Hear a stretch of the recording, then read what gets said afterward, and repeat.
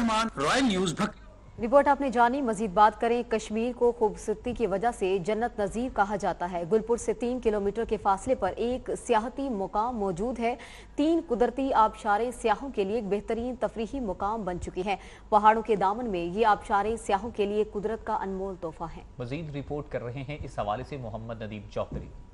سیر و تفریح کے لیے آئے ہوئے ہیں، ان سے اس حوالے سے جانتے ہیں کہ واٹر فال کے حوالے سے ان کا کیا کہنا ہے۔ پاکستان بھر کی تمام واٹر فال کو تقریباً دیکھ چکا ہوں، لیکن ان واٹر فال کو تصویروں میں دیکھا تھا، یہ بڑی خوبصورت لگتی تھیں۔ یہاں پہنچ کے آ کے دیکھا ہے، تو یقین مانیں یہ اتنی خوبصورت ہیں کہ یہاں سے جانے کو دل نہیں کر رہا ہے، لیکن مجھے سمجھ نہیں آ رہی ہے کہ کہاں ہے آزاد کشمیر حکومت، کہاں ہے محکمہ ٹورزم کہ اس کو ٹورسٹ کے لیے کیوں نہیں اوپن کر رہے ہیں تاکہ یہاں کے لوگوں کو حقیقی ترقی ملے اور یہاں کے لوگوں سے میں یہ گزارش کروں گا کہ وہ اپنے گیسٹ ہاؤس بنائیں، دیسی خوابوں کے مرکز بنائیں تاکہ لوگ آئیں تو ہمارے دیسی کھانے کھا سکیں۔ جیسا کہ آپ نے سنا کہ ان کا کہنا ہے کہ حکومت آزاد کشمیر کو چاہیے کہ ایسے خوبصورت مقامات پر وہ توجہ دے، جس سے ذرائع آمدن میں بھی اضافہ ہو سکتا ہے اور انہوں نے خاص کر سیاحوں کو اس مقام پر آنے کی دعوت دیا کہ یہاں پر یہ قدرتی ابشارے ہیں ان کو دیکھنے کے لیے آپ ایک بار ضرور تشریف لائیں۔